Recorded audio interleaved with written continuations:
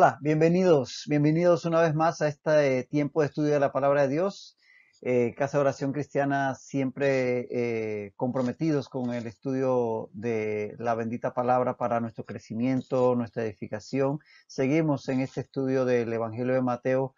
Eh, estamos en el capítulo 12. Ten ahí abierta tu Biblia, tu material de notas y como siempre decimos, principalmente nuestro corazón y nuestra mente para ver lo que la palabra nos habla y sobre todo pedirle a Dios que nos ayude a vivirla. Bendito Padre Celestial, gracias Dios por la oportunidad nuevamente de estar ante tu palabra, Dios. Señor, nos ponemos en tus manos para que tu Espíritu Santo nos guíe y que Dios tú nos hables y podamos, Señor, entender tu palabra y ponerla en práctica. Te lo pedimos y te damos las gracias en el nombre de Jesucristo. Amén. Y amén.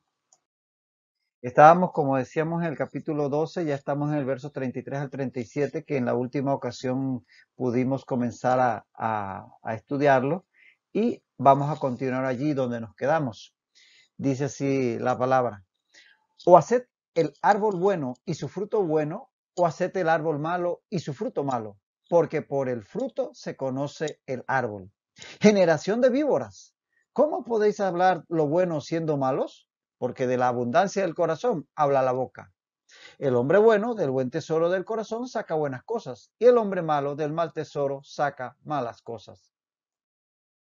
Mas yo os digo que de toda palabra ociosa que hablen los hombres, de ella darán cuenta en el día del juicio, porque por tus palabras serás justificado y por tus palabras serás condenado. Hasta aquí entonces este, este, esta porción de toda esta eh, conversación que está teniendo Jesús con estos fariseos que lo acusan de echar fuera demonios por el poder de, de Satanás. Y aquí él pues le está poniendo, como quien dice, eh, los puntos sobre las IES en este sentido. Entonces vamos a continuar allí donde nos quedamos y es en el texto que dice, el hombre bueno del buen tesoro del corazón saca buenas cosas y el hombre malo y el hombre malo del mal tesoro saca malas cosas. Ese es el punto que eh, continúa.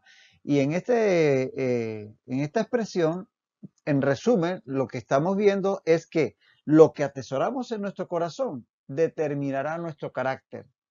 Y lo que hemos atesorado en nuestro corazón será lo que saldrá de nosotros. Por lo tanto, lo que salga de nuestro corazón evidenciará nuestro carácter. Eh, eso ya lo vimos eh, afirmado el tema de, que decía Proverbios 23, 7, eh, fue la última diapositiva que compartimos en la lección pasada, donde dice Proverbios 23, 7 que porque cual es su pensamiento en su corazón, tal es él. Lo que hay en el centro de nuestro ser, que es a lo que se refiere el término corazón, el centro de nuestro ser, un centro más espiritual que físico, ojo, ahí donde está el asiento del alma con la voluntad, la mente, las emociones. Ese centro, lo que hay allí que conduce nuestra vida, nuestros valores, nuestros principios, eh, esa voluntad, esa mente, ese, ese, eh, esos deseos, esas emociones, eso es lo que determina nuestro carácter. O sea, lo que aflora de nosotros viene de lo que atesoramos en nuestro corazón. De tal manera que, como decíamos aquí, de estas palabras del Señor Jesús, resumimos que lo que atesoramos en nuestro corazón determinará nuestro carácter, porque lo que hemos atesorado en nuestro corazón será lo que saldrá de nosotros y lo que salga de nosotros o de nuestro corazón evidenciará nuestro carácter. Es como un círculo que se cierra sobre sí mismo, pero evidentemente lo que está aquí eh, eh, queriendo decir el Señor Jesús es que lo que hablamos, lo que hacemos, nuestras acciones, nuestras frases, nuestros actos, están determinados por lo que hay en nuestro ser, qué cosas, cuáles son nuestros valores, cuáles son nuestros principios, cuál es, cuál es nuestra fe, cuáles las cosas en las cuales realmente creemos. Eso va a determinar que actuemos de una o de otra manera. Obvio, algunas acciones van a ser buenas y otras van a ser malas, pero en general la persona que tiene un corazón entregado a Dios, dominado por la guía del Espíritu Santo, con un esfuerzo eh, proactivo de, de, agradar a Dios, sus acciones en general, en general, todos cometemos errores, pero en general van a ir en esa dirección. Por tanto, eso va a definir su carácter. Lo mismo por una persona que está totalmente apartada de Dios y sus valores y sus principios son eh, totalmente sin ningún límite y hace lo que se le antoja estrictamente. Y entonces ahí definitivamente habrá desde aquel que sencillamente eh, tendrá una vida como si nada, como si Dios no existiera y hablará y hará, e incluso llegará al extremo de aquellas personas que inclusive eh, roban, matan y asesinan porque sencillamente no tienen ningún principio guiado por Dios. Entonces lo que hay en nuestro corazón va a determinar lo que hacemos y eso va a demostrar nuestro carácter. Eso es así. Mira el ejemplo de Caín y Abel. Si vas a la, a la palabra, a Génesis 4, 4 al 5, anótalo si quieres, después lo buscas. Génesis 4, 4 al 5 habla de cuando Caín y Abel vinieron a presentar ofrenda, a Dios. Dice en Génesis 4, y miró Jehová con agrado a Abel y a su ofrenda. Y en el 5 dice, pero no miró con agrado a Caín y a la ofrenda suya. ¿Lo ves? Es decir, que cuando ambos hermanos presentan sus ofrendas a Dios, Dios se agrada de Abel y su ofrenda, pero no se agrada de Caín y su ofrenda. Y ojo, Fíjate que el texto dice primero se agrada de Abel y luego de su ofrenda. Y en otro caso no se agrada de Caín y luego de su ofrenda. Porque primero es lo que eh, era Abel delante de Dios. La ofrenda era resultado de. ahí no dice que Dios no se agradó de la ofrenda de, Caín y que sí se agradó de la ofrenda de Abel. No, dice que se agradó de, de Abel primero y su ofrenda, que era consecuencia de lo que era Abel. O sea que lo que agradó a Dios fue el corazón de Abel y no se agradó de Caín por lo que había en el corazón de Caín y su ofrenda. Y sabemos que Caín definitivamente el resultado que lo llevó inclusive a matar a su hermano habla de lo que verdaderamente había en su corazón, porque cuando somos chiquititos, las personas eh, malas hacen cositas pequeñas malas, como robarse el juguetito del compañero o rompérselo. Pero cuando ya son grandes, roban, hurtan y hasta matan. O sea que eso comienza de pequeño. Entonces, primero en lo pequeño y después en lo grande. Primero fue el tema de una ofrenda sin verdadera vocación, sin verdadera fe de parte de Caín. Después llegó incluso a matar a su hermano. Así que lo que Dios vio fue el corazón de ambos. No tanto la ofrenda, porque dice, primero se agradó de, Abel y su ofrenda, que era resultado de lo que había en el corazón de Abel, y no se agradó de Caín y su ofrenda, que era el resultado de lo que había en el corazón de Caín. En Hebreos 11.4 en Hebreos 11.4, inspirado por el Espíritu Santo, el escritor de los Hebreos dice, por la fe, Abel ofreció a Dios más excelente sacrificio que Caín. Entonces ahí nos da luces este pasaje en el Nuevo Testamento de que, eso está en Hebreos 11.4, repito, de que realmente lo que Dios vio fue la fe en Abel y vio que en Caín no había esa fe había otra cosa. No podemos ahorita afirmarlo, pero por los resultados de, haber posteriormente matado a su propio hermano, sabemos que no era nada bueno. Entonces ahí nos eh, muestra este ejemplo tan sencillo de Abel y de Caín y Abel, cómo realmente lo que hay en nuestro corazón es lo que va a, a llevar a que hagamos o que hablemos esta o aquella cosa, bueno o malo. Y lo que Dios mira, mira es el corazón. Claro, las acciones, las palabras van a reflejar lo que hay dentro. Por eso es importante las palabras, pero lo que, lo que da origen a todo es lo que hemos atesorado en nuestro corazón. Entonces, aquí en este sentido, esto de hablar del tesoro del corazón, bueno, obviamente es lo que valoramos, porque cuando habla de la palabra tesoro habla de algo valioso. Lo que tú valoras, los principios que valoras, si valoras la lealtad, la honestidad, la puntualidad, eh, el amor al prójimo, etcétera, si, si para ti eso tiene valor, pues lo vas a guardar en, tu persona, en tu carácter, como si fuera un tesoro, como, como guardas el dinero, las bienes materiales, las cosas que te parece que tienen valor.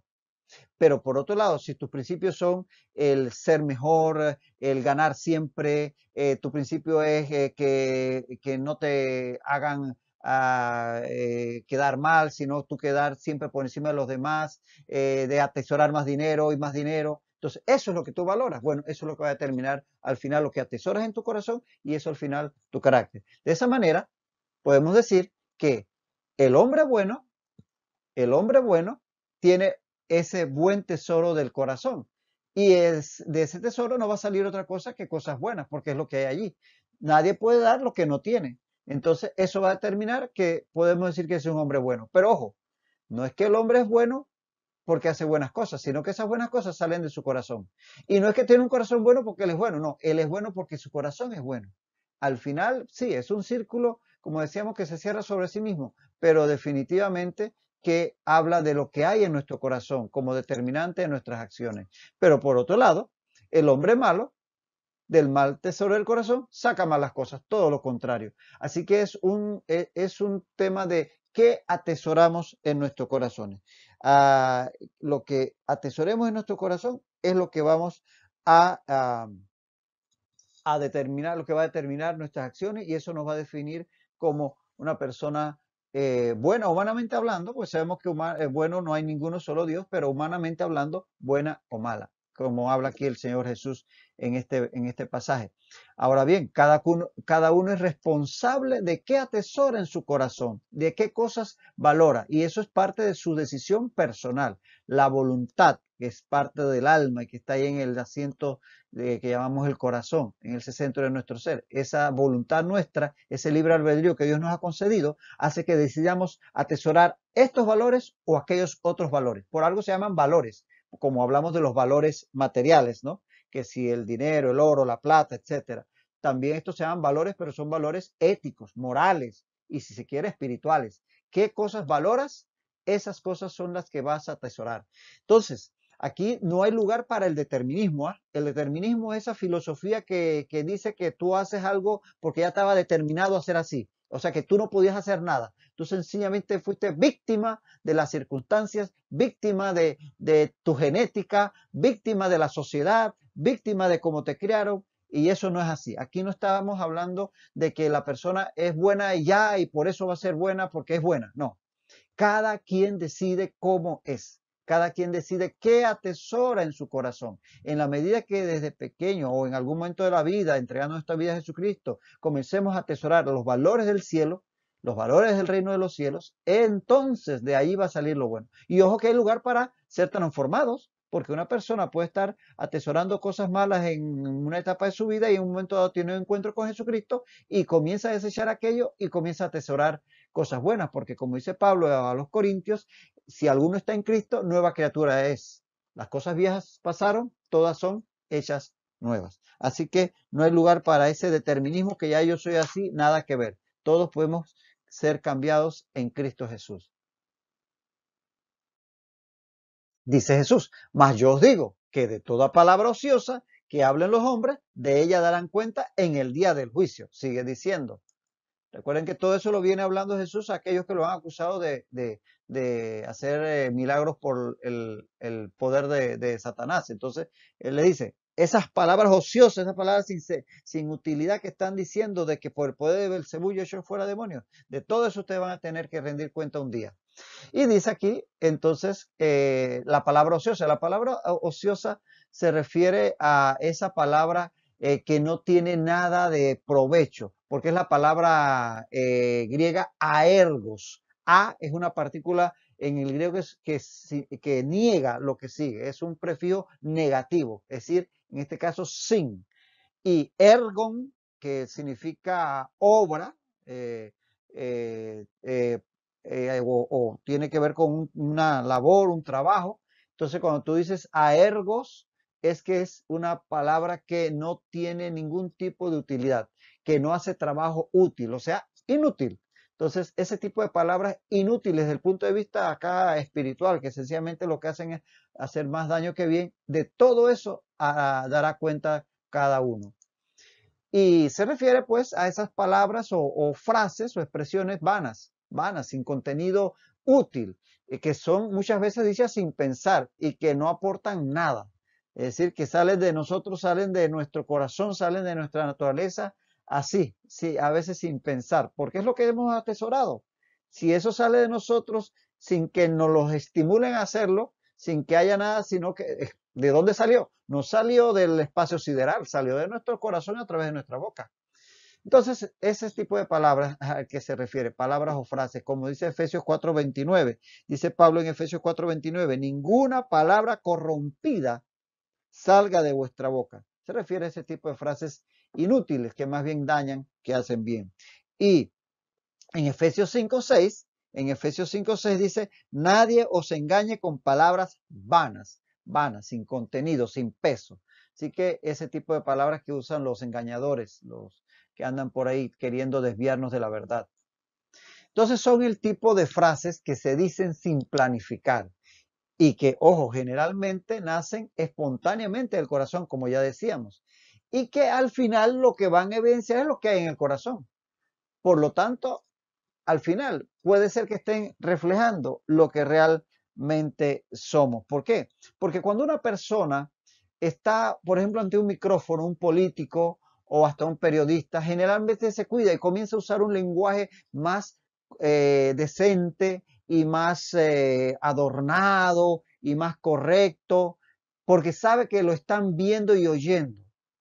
Ahora, quizás si tuvieran una cámara escondida y lo escucháramos hablar en su casa o entre los suyos, a lo mejor le escucharíamos decir vulgaridades o decir algunas cosas, como algunos bloopers que por ahí de repente ah, han salido a la luz en cuando los periodistas o algunas personas están en televisión y no saben que están en un momento dado, piensan que la cámara se apagó, el micrófono y comienzan a soltar alguna palabra otra de esas inadecuadas, que no las dirían si supieran que están al aire. Es ese tipo de palabras, ese tipo de frases. Entonces las personas cuando saben que están siendo oídas por un público, generalmente se moderan y disimulan lo que verdaderamente hay. Pero cuando están así como que dicen eh, a sus anchas, eh, quizás inclusive pensando que nadie los ve o los oye, esas frases que salen van a salir de su propia naturaleza, eh, de su propio ser. Por eso es que tenemos que ser de una sola pieza. Como somos en la iglesia, así ser en la casa. O como somos en la casa, así ser en el trabajo o como somos el trabajo, así será en la calle cuando manejamos. No solamente cuando nos está viendo el jefe o cuando está viendo el pastor o cuando no. Tal cual somos en nuestro corazón, así somos. De tal manera que este tipo de palabras y frases inadecuadas no tienen lugar en una persona que está bajo el, control del Espíritu Santo. Y aquí sencillamente Jesús lo está hablando por aquellos fariseos que definitivamente están hablando inadecuadamente. Dice, mas yo digo que toda palabra ociosa, dice el Señor, le dice. Y es que eh, eh, en, este sentido, todo hombre es completamente responsable de lo que es, piensa, habla y hace. Nadie dice, ay, se me salió. Sí, es cierto, se te salió, pero para que se te saliera por la boca, tenía que haber estado primero en tu corazón. Es decir, de, de, tu boca no va a salir nada que no estuviera dentro de ti. Así que eso no te excusa. Dicen por ahí, se le salió el cobre porque fulano de tal en un momento dado entró en una ira que tú decías que es una mansa paloma que no mata ni una mosca y de repente en un momento dado que le pisaron un callo, literal o, o, figuradamente hablando, se sale con una bocota que Dios santo. Entonces, eh, eh, al final somos responsables de lo que hacemos, de lo que pensamos, de lo que hablamos. No podemos culpar a, ah, es que yo soy así, que esa es mi personalidad, que ese es mi carácter, que así me criaron al final cada quien tiene una voluntad y una mente que le hace pensar y decidir qué hacer y qué no hacer, qué decir y qué no decir. Entonces, fíjate algo, si dice aquí el Señor Jesús que todos darán cuenta de cada expresión descuidada, imagínate, palabra ociosa, palabra sin sentido, sin, sin utilidad, ¿Cuánto más tendremos que dar cuenta por palabras falsas, dañinas o blasfemas, como el caso de los fariseos y los escribas que hablaban aquello de que Jesús por el eh, el poder de Belcebú echaba fuera demonios. Entonces, tenemos que saber que nuestros actos, nuestras palabras, lo que hacemos, eh, sí tienen alguna eh, relevancia. Sobre todo, perdón, sobre todo porque ellas muestran lo que hay en nuestro corazón. No es que las, los actos, las acciones, las palabras son las que nos vayan a, en un momento dado, a ser salvos o no sino que ellas demuestran lo que hay en nuestro corazón. Somos dueños de lo, dijo, dijo alguien, que somos dueños de lo que callamos y esclavos de lo que decimos, como para que pensemos dos veces lo que vamos a decir, ¿verdad? Somos dueños de lo que callamos y esclavos de lo que decimos. Y alguien acotó muy sabiamente que las palabras habladas son como plumas lanzadas al aire. Imagínate que tienes un saco de plumas y hay un vendaval, un viento y tú agarras ese saco de plumas y lo tiras al aire a ver cómo haces para recoger esas plumas después y recogerlas todas. Porque todas esas palabras que dijiste cuando hablaste mal de otra persona, cuando dijiste una mentira de alguien, un chisme, o a, lo mejor hasta dijiste algo que no era falso, pero eso hizo, hirió a la persona, hizo que la persona fue, quedase mal ante otros y demás. ¿Cómo vas a hacer para recoger esas palabras? Por eso dijo alguien que las palabras habladas son como plumas lanzadas al viento, que no se pueden recoger. Y también apuntó otra persona que por algo Dios puso la lengua detrás de los dientes, para que un momento dado los dientes le sirvieran de cárcel, para que no se soltara más de la cuenta y que a veces en realidad debiera uno mordérsela, ¿no? Como para no no decir lo que no debe. Así que esto del el hablar eh, las cosas tiene que ser bien pensado. Incluso también hay una observación muy atinada que dice que por algo Dios nos dio dos oídos y una sola boca para que oigamos el doble de lo que hablamos. También muy sabia reflexión. Santiago 3, 10 y 11 dice algo de esto. Santiago 3, 10, 10 eh, y 11 dice, de una misma boca proceden bendición y maldición. Hermanos, dice Santiago, hermanos míos, esto no debe ser así. ¿Acaso alguna fuente hecha por una misma abertura, agua dulce y amarga? Entonces definitivamente que debemos meditar muy bien lo que hablamos, porque cada palabra que, digamos será tomada en cuenta. Dice, eh, entonces el Señor Jesús eh, está hablando de de que al final todos vamos a dar cuenta de nuestros actos, de alguna u otra manera, porque dice Hebreos 9:27, Hebreos 9:27 dice claramente que de la manera que está establecida para los hombres, para los hombres, no dice para los pecadores, para los hombres, y cuando dice hombres, obviamente lo dice en sentido genérico de toda la humanidad, hombres y mujeres, que mueran una sola vez y después de esto el juicio. Es decir, una sola muerte, no es reencarnación. Borre, borre esa idea de su mente. Una sola vez y después de esto el juicio. O sea, eso es para todos los hombres. está establecido una sola muerte y después de eso vendrá una evaluación, un juicio para cada uno. Ahora, aquí hay una diferencia. Los pecadores tendrán su juicio ante el gran trono blanco. Allá lo dice Apocalipsis 20, 11 al 12. Apocalipsis 20, 11 al 12 dice, y vi un gran trono blanco, y dice en el 12, y vi a los muertos, grandes y pequeños, de pie, ante Dios, y los libros fueron abiertos, y fueron juzgados los muertos por las cosas que estaban escritas en los libros, según sus obras. Ese es un juicio que el que llega ante ese juicio, todos van a ser condenados, porque definitivamente no hay eh, en ese momento eh, eh, ninguna posibilidad para aquel que llega sin haber eh, puesto sus pecados en el sacrificio del Calvario de Jesucristo. Así que ese, ese será el juicio al que se referiría en ese momento para los pecadores. Pero los creyentes también vamos a dar cuenta, también vamos a dar cuenta de nuestros actos. Obviamente ya no es un juicio de condenación, sino ante el tribunal de Cristo, del cual habla 2 Corintios 5.10. 2 Corintios 5.10 dice, porque es necesario, dice Pablo, escribiéndole a los creyentes de Corintio, es necesario que todos nosotros comparezcamos ante el tribunal de Cristo para que cada uno reciba según lo que haya hecho mientras estaba en el cuerpo, sea bueno o sea malo. De tal manera que ahí va a haber una evaluación de nuestros actos ya eh, como personas creyentes en donde se va a premiar, sí, habla de las coronas, eh, de esto y de lo otro, porque toda aquella obra que hemos hecho en el Señor Jesús no será en vano, sino que el Señor la reconocerá en su momento. Pero también habla en ese mismo contexto eh, de, de, de, uh, de 2 Corintios capítulo 5, de que algunos dicen que, que sus obras serán heno y una jarasca, y dice que eso se va a quemar y vamos, van a pasar, eh, o vamos a pasar, dice ahí como si fuera aquel que sale de un incendio, como por fuego, que como que ya se salvó con lo que llevaba puesto. Ahí no hubo ni coronita ni coronota, pero bueno, será, será salvo.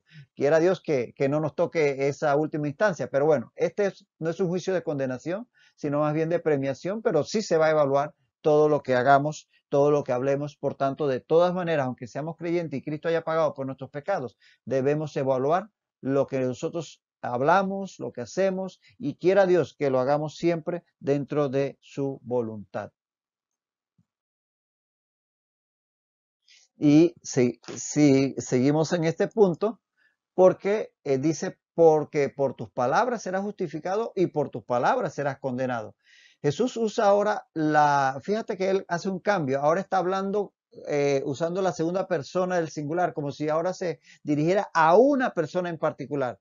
Lee los, anteriores eh, expresiones y verás que aquí hay un cambio, porque ahora como que se detiene a hablar con una persona, pero obviamente de una forma eh, figurada, porque no es que se dirigió a uno solo en particular, sino que aquí está hablando como a nivel personal. Y así debemos nosotros, cada vez que somos confrontados con la palabra, verlo como que es algo personal, que la cosa es conmigo, que eso me está hablando a mí solito en este momento. Siempre debemos eh, permitir que la palabra nos confronte, no pensar que esto se lo está diciendo al que está a mi lado, al que está al otro lado, se lo está diciendo a mi esposa, se lo está diciendo a mi hijo. No, ¿qué me dice Jesús a mí? Y en este caso Jesús por eso usa este tipo de, palabras que en donde comienza a hablar como si fuera a nivel eh, personal. Dice, porque por tus palabras serás justificado y por tus palabras serás condenado. Entonces, como decíamos, usa esa segunda persona del, del, singular, dirigiéndose personalmente a cada uno de, sus oyentes, entre los cuales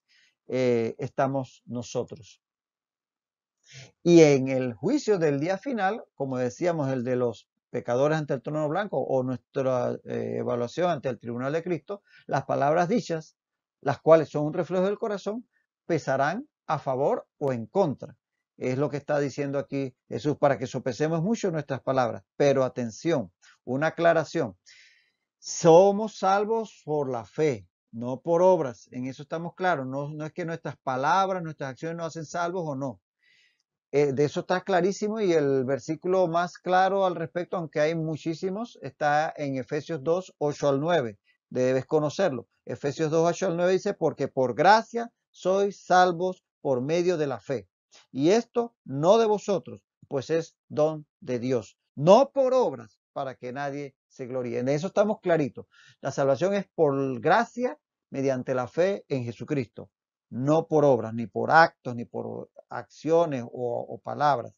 Pero, pero sabemos que nuestras acciones, ya lo venimos diciendo a lo largo de esta elección, inclusive en la anterior, nuestras palabras, nuestros actos, nuestro, todo lo que sale de nosotros surge de la fe que hay en nuestro corazón. Por eso dice Santiago, capítulo 2, 17 y 18, Santiago 2, 17 al 18, que la fe, si no tiene obras, es muerta en sí misma. Alguno dirá, tú tienes fe y yo tengo obras. Dice Santiago, muéstrame tu fe sin tus obras y yo te mostraré mi fe por mis obras. ¿Lo ves? Porque definitivamente la fe habla eh, por medio de las obras. No son las obras las que nos hacen salvos, no son las obras las que nos llevan a, a, ser aceptados por Dios, pero las obras reflejan lo que hay en nosotros, de tal manera que una verdadera fe siempre va a generar obras que agraden a Dios. Una verdadera fe se va a reflejar en nuestra forma de hablar, en nuestro... Por eso dice que las palabras nos justificarán o nos condenarán, porque están hablando de lo que hay en nuestro corazón.